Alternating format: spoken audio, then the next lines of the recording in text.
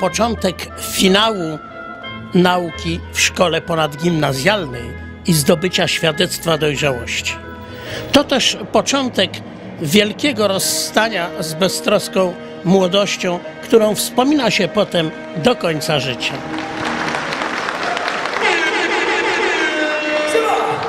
Nossa, nossa, assim você me mata.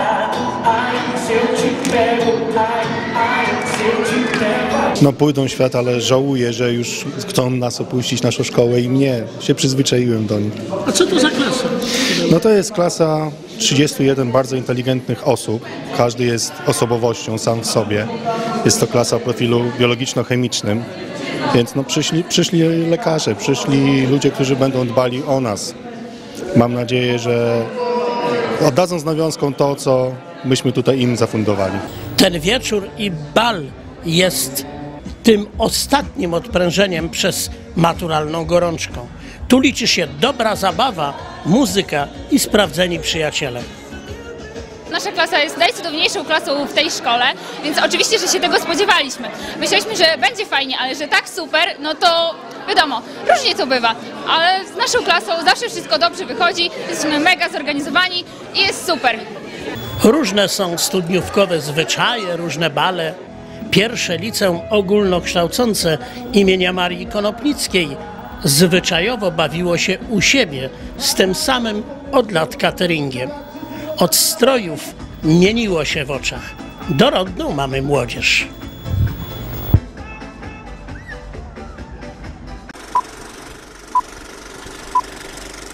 Suwałki był jednym z pierwszych miast, na zlecenie których Mennica Polska zaczęła bić dukaty lokalne. To już piąta edycja Suwali. Był już na nich bóbr, sieja, nietoperz, rak szlachetny. Teraz znalazł się wilk, uwieczniony na obrazie Alfreda Wierusza Kowalskiego, czy też na zdjęciu Wojciecha Misiukiewicza, pracownika Wigierskiego Parku Narodowego. Był na przykład rozpatrywany projekt, y, czy ma być to właśnie wilk, czy bocian, bo niektórzy chcieli, a może zając, bo jeszcze zająca nie było, nie? Ale mówią, że szaraków jest coraz mniej na terenie Suwalszczyzny, także jeszcze kilka zwierząt, jak mamy gdzieś tam w zapasie na następne lata. Od 2008 roku wybitych zostało 77 tysięcy suwali. Rozeszły się 73 tysiące. W tym roku do obiegu trafi 7 tysięcy sztuk monet wykonanych w Mosiądzu o nominale 4 suwali, równowartości 4 zł i 400 srebrnych. 40 suwali kosztujących 130 zł sztuka.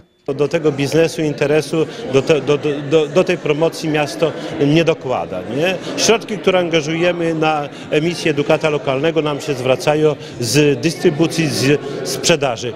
Ubiegłoroczne suwale z wizerunkiem raka rozeszły się w 100%. Taka forma promocji miasta i regionu chwyciła. Dotychczasowy Suwal bardzo dobrze rozprowadzał się. Jest to rzecz taka pamiątkowa, którą wywożą e, turyści e, z pobytu właśnie w Suwałkach i na Suwalszczyźnie. Jest to również taka rzecz, którą wręczamy przy różnych wyjazdach, nawet i przyjmowaniu delegacji zagranicznych, czy my jedziemy, bierzemy udział w różnych spotkaniach. Jest to właśnie taki element, który nas wyróżnia. Suwalski, dukat lokalny, czyli Suwal. E, I jest to również gratka dla numizmatyków, nie? dla kolekcjonerów. Suwale znajdą się także w suwalskich pubach, restauracjach czy sklepach. Ich rozprowadzaniem zajmuje się Regionalny Ośrodek Kultury i Sztuki. Będzie dystrybuowany poprzez placówki Regionalnego Ośrodka Kultury i Sztuki, czyli w siedzibie głównie, głównej na ulicy Noniewicza 71, ale również w Centrum Informacji Turystycznej na ulicy Hammerschmidta. Deklarację o współpracy już złożył Wigierski Park Narodowy, czyli w siedzibie Wigierskiego Parku Narodowego. Natomiast skierowaliśmy również 130 zaproszeń do innych podmiotów z całego z miasta i, i, i regionu. Pensjonaty, hotele, sklepy będą mogły na suwalach zarobić, bo od Rokisu kupią je z 20% bonifikatą. Suwalski dukat lokalny rozprowadzony będzie też w całej Polsce. My w tej chwili sprzedajemy dosyć duże ilości pakietowe do domów numizmatycznych i związków kolekcjonerskich na terenie całego kraju. Od północy e, aż po południe i tam na tych terenach jest to później dystrybuowane przez te stowarzyszenia i związki. Więc wychodzimy dużo, dużo szerzej niż tylko teren miasta i regionu. Sprzedaż suwali rozpocznie się 1 maja i potrwa do połowy września, do zakończenia sezonu turystycznego. Przed sześciu laty konkurs wymyśliła nauczycielka mechaniki i mechatroniki Aneta Kuczyńska. Zwyczajowo cz- szósta edycja konkursu pod nazwą Pokaż swoje umiejętności, zawód to klucz do sukcesu. E, Konkurs e, ma na celu pokazać praktyczne umiejętności i wiedzę naszych uczniów w szkole. Prezentowane są projekty z różnych dziedzin, biorą udział e, klasy o profilu e, mechanicznym, mechatronicznym, budowlanym, elektrycznym, elektronicznym. Jest bardzo wysoki poziom, prace są atrakcyjne, Swoje prace z dumą prezentowali przedstawiciele poszczególnych kierunków nauczania. Budowniczy pokazali skomplikowaną więźbę dachową. Przygotowaliśmy na konkurs e, dom z bala e, z konstrukcją dachu e, krokwiowo-jętkowego z pokryciem z wióra osikowego. Jest to, reprezentujemy kierunek budownictwo w naszej szkole i pokazujemy nasze zainteresowanie tym kierunkiem dodatkowe. Projekt jest to moduł ruchu liniowego. Yy, Ma, posiada dwa położenia krańcowe z możliwością zatrzymania się na środku. Jest sterowany za pomocą przekaźników, no i położenia krańcowe uzyskane są za pomocą krańcówek. Zwyciężył zespół o prawdziwie inżynierskim spojrzeniu na projekt, jak mówił wicedyrektor Zbigniew Giza. Zwycięzcy, choć byli faworytami, cieszyli się bardzo.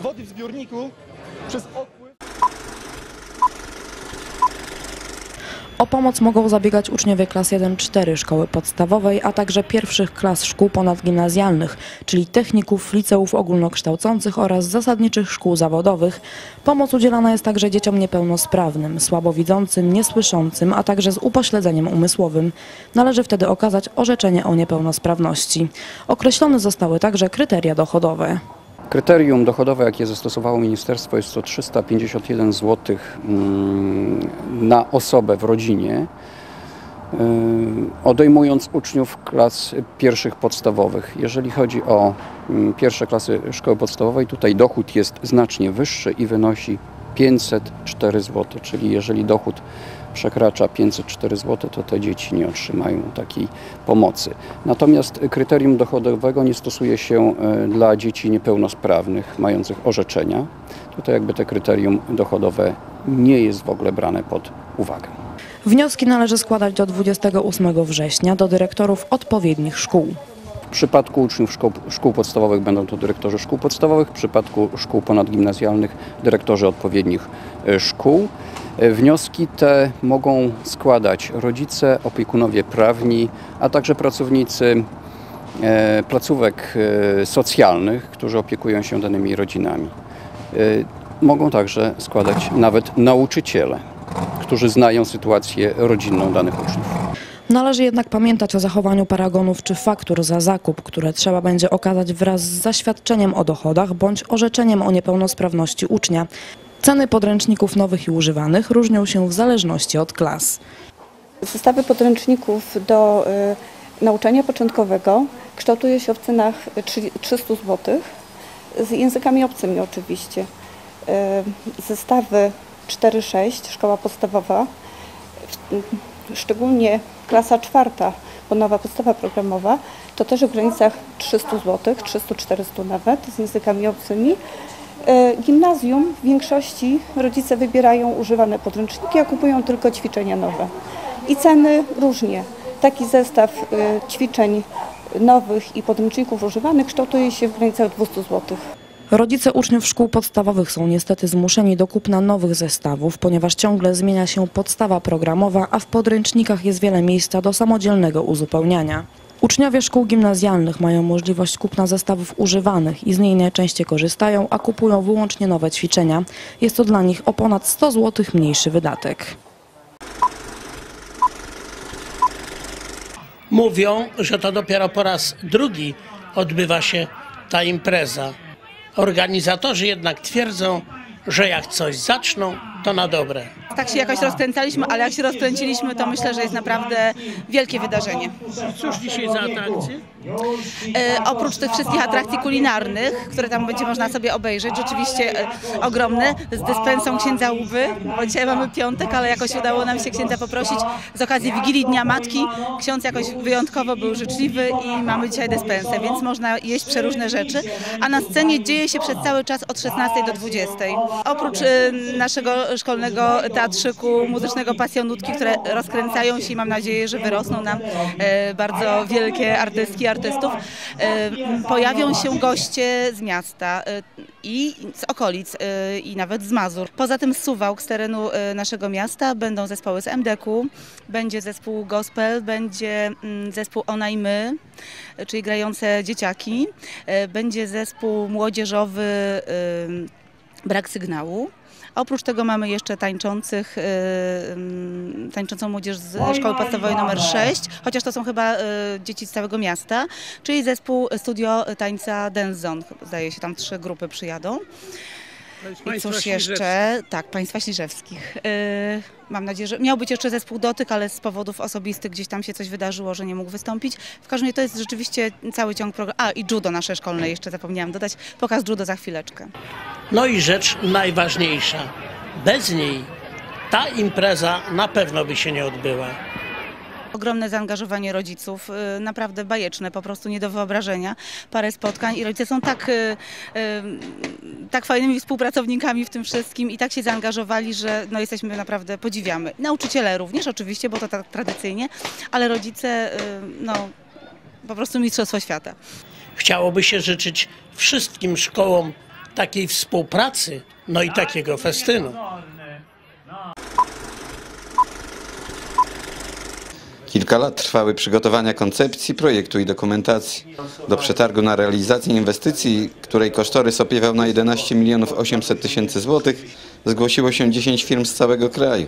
Najdroższa oferta opiewała na ponad 13 milionów złotych. Zwycięzcą przetargu z najniższą ceną 8 milionów 980 tysięcy zostało przedsiębiorstwo gospodarki komunalnej z Gołdapi i z tą spółką prezydent Suwałk podpisał właśnie umowę. Rozpoczynamy z tego, co wstępnie mamy uzgodniono z, tutaj z dyrekcją od poniedziałku, czyli grodzimy plac częściowo, tak żeby nie wykluczyć działalności tam, e, tego co wiem to jest kiosk ruch, tamte inne rzeczy, żeby po prostu ludziom nie utrudniać. No i tak naprawdę wejdziemy do roboty, prawdopodobnie rozpoczniemy pracę 20. W tegorocznym budżecie miasto przeznaczyło na pierwszy etap inwestycji 2 miliony złotych, które pójdą na przebudowę instalacji i rozbiórkę obiektów. Trafostacja z tego co wiem to zostanie, bo do chwili wybudowania przez zakład energetyczny nowej stacji, a pawilon to myślę, że zginie tam w ciągu dwóch, trzech tygodni maksymalnie. Władze cieszy dużo niższa od kosztorysu inwestorskiego cena osiągnięta na przetargu. Miasto ubiega się o dofinansowanie przebudowy centralnego placu przez Unię Europejską. Niecałe 9 milionów złotych poniżej kosztorysu naszego inwestorskiego. Z tego y, bardzo się cieszymy, ale 10 oferentów przystąpiło do, do, do przetargu. No i zaoferowana cena jest niższa niż zakładana przez nas, co cieszy. Z drugiej strony jeszcze będziemy bardziej ucieszeni, gdy z akceptacją spotka się projekt, który złożyliśmy y, do marszałka w ramach ogłoszonego konkursu. Gdybyśmy uzyskali dofinansowanie w wysokości 60%, to rzeczywiście ten plac Marii Konopnickiej można byłoby zrobić za stosunkowo niską e, kwotę. Gdyby udało się pozyskać unijne środki, miasto wydałoby najwyżej 3,5 miliona złotych na stworzenie tętniącego życiem rynku. Mam nadzieję, będzie takim miejscem spotkań, miejscem różnych imprez kulturalnych, e, różnych wystaw może poplenerowych. Również miejscem, gdzie będzie tętniło życie, gdzie będzie można przyjść, wypić kawę, herbatę, zjeść loda. E, Dziecko będzie miało też tam wiele atrakcji, bo będą takie mini place zabaw, ale również będą dwie fontanny, a zawsze woda wprowadza pewne ożywienie i to będzie miejsce takie rea- do, do, do, do właśnie rekreacji, wypoczynku również. E, Będą ławeczki, elementy małej architektury. Oczywiście centralnie pomnik Marii Konopnickiej, troszeczkę również i zieleni. Także jest to bardzo taki, taki no, no, obszar naszego miasta e, położony centralnie i predysponowany do tego, żeby to był taki z prawdziwego zdarzenia rynek. Podobnego zdania jest wykonawca, który ostatnio przebudowywał rynek w Gołdapi, a w naszym mieście budował parkingi wokół serca Suwałk. Plac ma wyglądać nawet ładniej niż na wizualizacji. W tej chwili tam siedzi kilka, kilka osób, a później to nam, tak liczę, że będzie koło, koło tysiąca, może nawet do dwóch tysięcy. Na to liczymy po prostu, że no, będzie piękny park. To, co widziałem w dokumentacji na, na, na, na tego, to że będzie to bardzo ładne. I na pewno to ściągnie ludzi. Park Konopnicki ma zostać zamieniony w plac do 30 kwietnia 2014 roku.